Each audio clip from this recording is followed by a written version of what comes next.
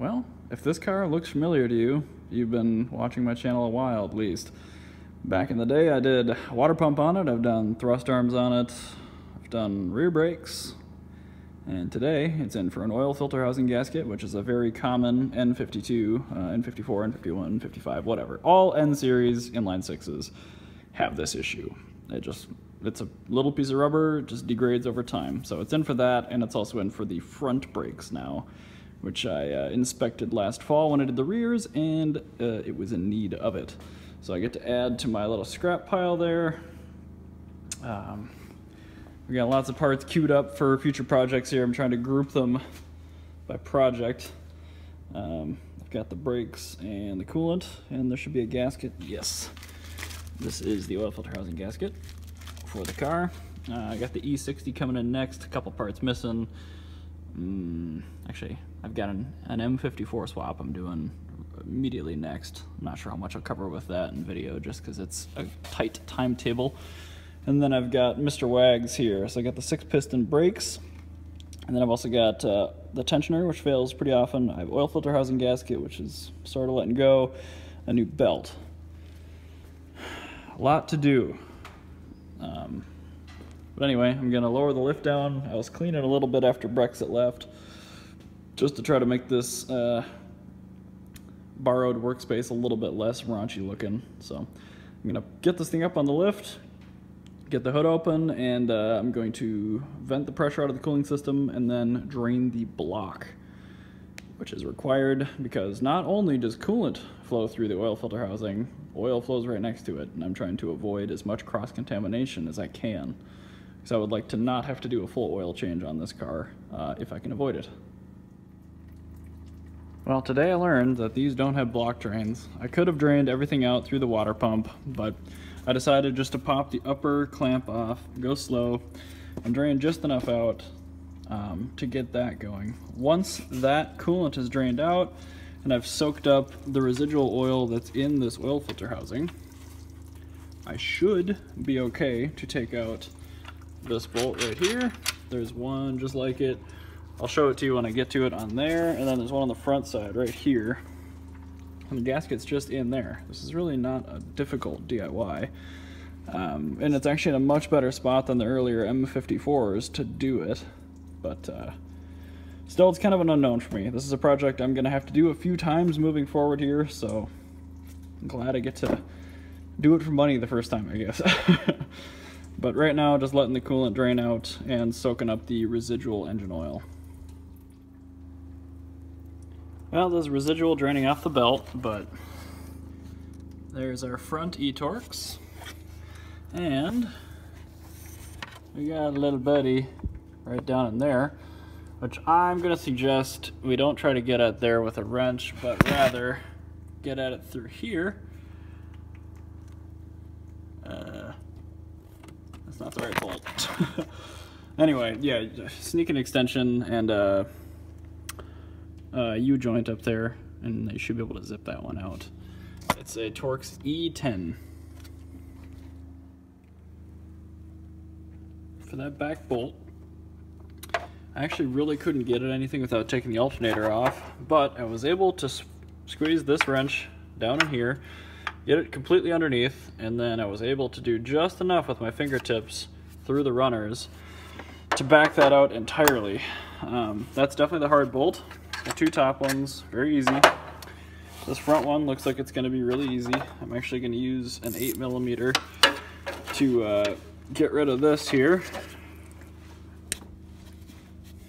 Oops, that's the wrong way. So I'm going to take that out and slowly and carefully take this filter housing off and then hopefully no cross-contamination happens. I really do have my fingers crossed on that one. If it does, worst case, I just have to add some new fluids, but seeing as I didn't bill out for them, I would like to not have to do it. Shoot, not bad, bud. Lost a little bit, but think caught pretty clean. Got lucky, so looks good. Uh, I'm gonna clean that down thoroughly, get rid of all this little goober here where the old gasket was. And then on the housing itself, I'm gonna take out the old gasket, put the new gasket in, and then I'm to put a thin layer of RTV around everything oil. I'm not to bother with everything coolant, um, but I do want to make sure that the oil stays separate from the coolant, and then also to make sure that it doesn't leak um, out of the engine onto the side, stuff like that.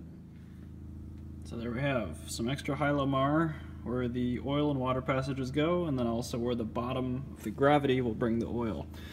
So now I'm going to very carefully get this aligned and set back off so it doesn't uh, destroy the alignment for the Hylamar. And then I'm going to tighten our bolts back on. And there we have it. You can see just a little bit of Hylamar peeking out. We're looking pretty good. Everything looks like it flattened out nicely. I'm pretty pleased with that. I was actually expecting this job to be a little bit harder than it was. Um, a lot of shops will pull the intake manifold to do this. And I'm not exactly sure why they would do that. It's got to be this rear bolt. But honestly, I have a crappy one of these, a speed wrench 8 mil. If you had a good one of these with a really fine tooth mechanism, you could do it from the top here. Because I can get this wrench onto that nut from right here. And I just dropped it, but I got a magnet, so it's fine. Um, but anyway, this part's done. What I'm gonna do now, open up the bleed screw, fill it up till I see a dribble out of there, cap it, and then I'm gonna do the uh, bleed procedure like you do when you change the water pump, just to make sure it's all bled through and I don't have any leaks. After that, I'm gonna check the oil level. Um, I lost a little bit just sucking it out of the uh, reservoir, so I got to add just a tiny bit of oil. Um, and then I gotta put the lower plate back on the car. Then it's time for front brakes. So that really wasn't too bad. Uh, if you did it by the book, it would probably be pretty terrible. But uh, I think all in, I'm only at 35 minutes maybe from the time I lifted it up to now. So pretty quick. That uh, I would gladly do those in the future. So yep, coolant, bleed, oil, bottom tray, brakes. Now on to the turkey gravy. We've got oh, two and a half millimeters, a deeply ridged rotor. These aren't unsafe, but they are not in good condition by any stretch of the word. Wow, yeah, not much left on there. So here I'm gonna pop off the caps on the caliper sliders. Seven mil Allens on there. I'm gonna compress the piston, pull the sliding portion of the caliper off. Then I'm guessing these are 19s. Pop those off, take the bracket off. This uh, circlip comes off first, actually. Let's do this first. And then we're gonna have a five. I think that's a five millimeter, it might be a six. Depends car to car. Retaining bolt, we'll take the old rotor off and get the new stuff ready to go on. Well, that all came off really easily. I'm gonna hit the hub flange all the way around with my wire brush. I'm gonna pull out the slider pins on the caliper drop them. And then I'm gonna clean those up with a wire brush and then apply some grease. Just some molybdenum grease. Slide them back in.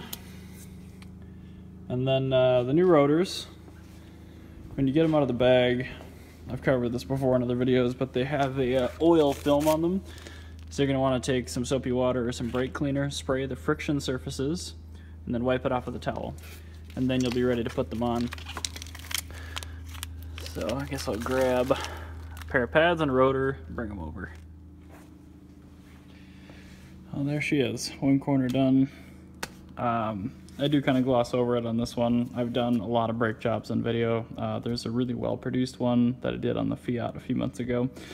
Uh, if you are doing this as a DIY on your 3 Series, just go back and watch that. It's the same, uh, same process and I go over the lubrication points and what to do. Um, it's all pretty much the same on disc brake cars, so I'm gonna go ahead and hop over the other side, get that done, get these wheels back on, torqued, and this car is good to go for at least however long until something else gets diagnosed as needing work. and just like that, hey presto, she's done.